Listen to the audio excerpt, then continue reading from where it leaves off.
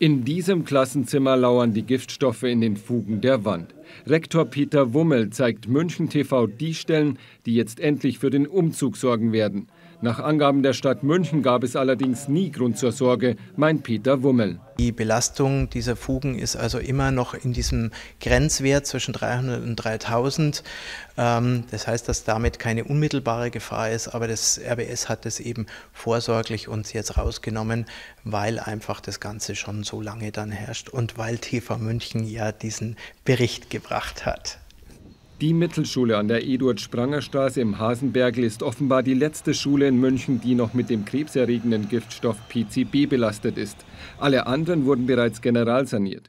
Diese Dokumente beweisen, dass die Giftstoffbelastung bereits in den 90er Jahren bekannt war. 2011 wurde PCB, also polychlorierte Biphonie, offiziell nachgewiesen. Seitdem wurden permanent Maßnahmen ergriffen. Und das wird platt gemacht. Erstens, ich habe es vorher schon erwähnt, wir haben einen extrem dichten Reinigungsturnus. Es ist eigentlich die ganze Zeit jemand da und wischt feucht ab.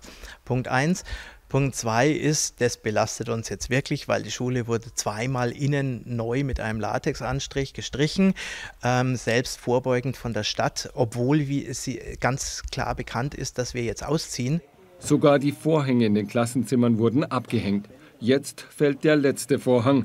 Nach einer Abschlussveranstaltung am Abend, zu der der ehemalige Schüler Willi Aster aus seinem Programm spielt.